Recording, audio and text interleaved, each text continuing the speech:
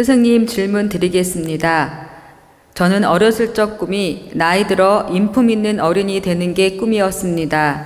지금은 어느덧 60세를 바라보고 있는데 나이 들어 아무 뜻 없이 살면서도 죽는 것이 무섭고 오래 살고 싶다는 노인들을 볼 땐 문득 무섭다는 생각이 들기도 합니다. 우리는 어린 나이에서 시작하여 나이를 먹어 어른이 됩니다. 스승님, 나이를 먹어 진짜 어른이 된다는 것은 무엇을 뜻하는 것인지에 대한 깨우침을 청합니다. 감사합니다.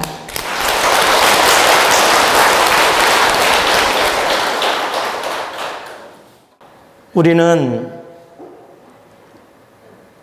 어른 모습은 갖춘 분들이 많지만, 그러니까 나이가 들어서 어른 모습을 갖춘 분들이 많지만, 그 덕성, 그 인품, 그 본질적 심덕을 갖춘 어른 모습을 갖춘 분은 드뭅니다. 그러면 우리가 어른이라고 표현할 때 여러 가지 의미가 있습니다. 1차적으로 어른이란 뜻은 내가 성인이 되어서 자기 인생을 책임질 나이가 된 모습을 우리가 어른이란 표현을 1차적으로 씁니다.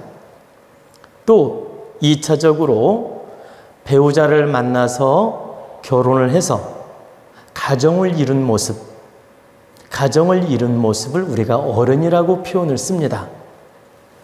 그래서 우리가 예전에 일찍 장가가는 시절에 뭐 18, 19, 20살에도 결혼하면 너는 장가 갔으니 이제 어른이 됐구나 이런 말 하지 않습니까?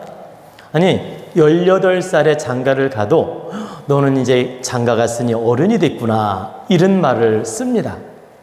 즉 짝을 만나는 모습, 가정을 갖춘 모습, 결혼한 모습을 우리가 어른이라고 또 표현을 합니다. 또 지위가 높거나 지위가 나보다 지위가 높거나 아, 나이가 많거나 어떤 그 경륜이 높은 사람을 우리가 또 어른이라고 표현을 합니다. 그래서 나이가 많은 분을 우리가 어르신, 어른, 또 직위가 높은 분을 보고 뭐라 하냐면 어, 어른께서 먼저 하시죠. 이런 표현을 쓰기도 하는 겁니다. 그래서 직위, 경륜, 나이 이런 걸로써 어른, 어른의 기준을 삼기도 한다. 또 어, 하나는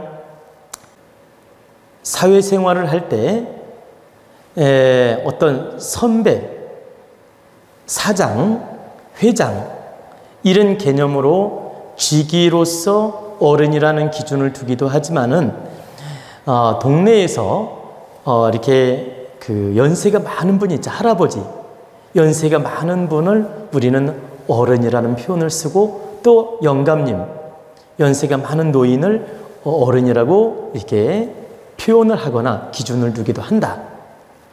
그러니까 동네 어른께서 이런 말 쓰지요. 그럼 동네 어른이라고 할 때는 영감님, 할아버지, 할머니 이런 분을 갖다가 우리 동네 어른이라고 이런 말을 쓰지 않습니까?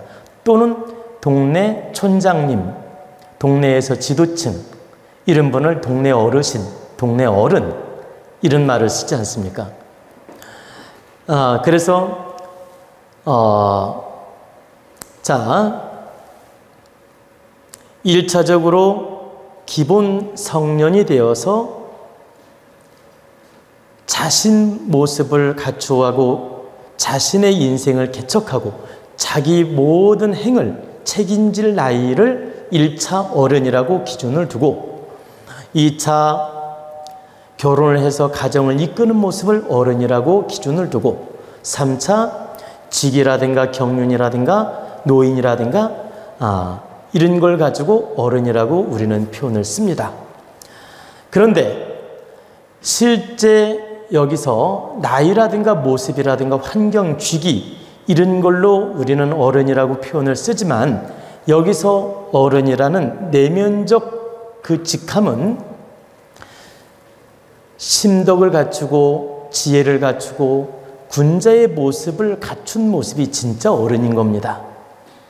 그래서 지금 현 시점에서 본다면 어른이란 단어는 쓰지만 어른 자격을 갖춘 진정한 어른들은 드물다라는 거예요.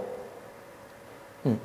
그래서 우리가 진짜 어른이란 말을 쓰려면 겉모습만 어른이 되어서는 안 되고 내면의 지식, 내면의 지혜, 내면의 심덕 이런 모든 걸 갖추어서 어른 모습을 갖추어야 된다 이런 뜻입니다. 그리고 여러분들께서 어른이란 어휘가 어떻게 나왔는지 잘 모르는 분들이 있, 기 때문에 제가 그걸 간략하게 말씀을 해드리겠습니다. 원래 그 어른이란 소리는 얼운에서 나온 말입니다. 얼운. 그리고 어른에서 어른 이렇게 된 것이고 어루어지다라는 뜻에서 어른이란 말이 나온 겁니다. 어루어지다. 어루다. 어루다라는 의미가 뭐냐면 짝을 짓다 이 소리입니다. 홀로 살다가 배우자를 만나서 짝을 짓다, 어루다. 이거와 이거와 만난 상태를 어루다, 어루어지다. 이런 표현으로 쓰이는 말입니다. 어루다, 어루어지다. 만나다. 이 뜻이에요. 짝을 이루다. 그래서 원, 원칙의 의미는 나이가 성년이 되어서 짝을 만나서 한 가정을 이룬 모습, 배우자를 만난 모습, 남녀가 짝을 만나서 책임지는 인생의 모습을 갖춘 모습을 우리가 어루다, 어루어졌다. 이래서 여기서 어른이란 말이 생긴 것입니다. 즉, 소년에서 성년이 되어 가지고 장가를 가서 시집을 가서 어루어져서 짝을 만나서 어루어져서 이제 드디어 한 가정을 갖출 수 있는 능력을 갖추었다. 이 모습이 어루다, 어루어졌다. 여기에서 어른이란 말이 나온 것입니다. 너는 이제 소년에서 벗어나서 짝을 만나서 한 가정을 어루었으니 이제 너는 어른이 된 것이다. 그래서 어른은 어루다라는 말에서 나왔다 이 소리입니다. 그래서 우리는 기본 어른이란 말은 장가간 모습을 어른이라고 했던 것이에요. 시집간 모습을 어른이라고 했던 것이다. 음. 그래서 15살에 장가를 갔든 18살에 장가를 갔든 20살에 장가를 갔든 결혼을 시키고 나면 옛날 어른들이 너는 이제 장가 갔으니 어른이 된 것이다. 어른 모습을 갖추고 살아야 된다. 이런 표현을 많이 쓰게 된 것입니다. 그러니까 어른이란 단어는 여기서부터 시작이 됐다라고 이해를 하시라는 뜻이에요. 여기서부터 시작이 되면서 이제 각자 분야에 쓰이게 된 겁니다. 좀 전에 말씀드린 것처럼 직함으로도 높은 사람을 어른이다. 나보다 윗사람도 어른이다. 또 노인도 어른이다. 어? 그리고 어떤 경륜이 높은 사람도 어른이다. 이런 식으로 어른이란 단어를 많이 쓰게 됐던 것입니다. 그럼 여기서 어른은 높다, 윗사람이다, 존중한다. 이런 뜻이 함께 동반되어 있는 것입니다. 또한 책임진다. 책임질 수 있는 자격을 갖추었다. 어? 자기가 말한 거나 행동한 거에 대해서 책임질 수 있는 능력을 갖추었다라는 의미도 담겨져 있다. 그래서 이 어른이라는 단어는 이런 여러 가지 복합적인 의미가 담겨져 있고 우리는 이걸 알고 쓰는 분도 있고 모르고 쓰는 분도 있는데 실제 이렇게 깊은 의미가 담겨져 있다는 뜻입니다. 그래서 우리는 겉모습만 어른이 되어 가서는 안 되고 참다운 어른이 되도록 노력을 해야 됩니다. 여러분, 하나 제가 증거를 대겠습니다. 동네 할머니, 할아버지가 계신데 무지하고 무능하고 그냥 좀 추한 모습으로 이렇게 할아버지, 할머니가 연세가 드신 분인데 살고 있어요. 그러면 동네 어린 아이들도 그 할아버지, 할머니를 존경할까요?